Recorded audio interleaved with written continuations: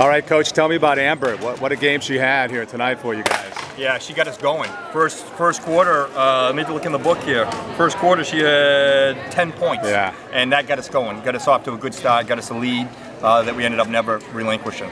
Amber, tell us about the game. How did you see it? Um, I saw it as establishing everything we go over in practice and doing my best to execute execute those goals.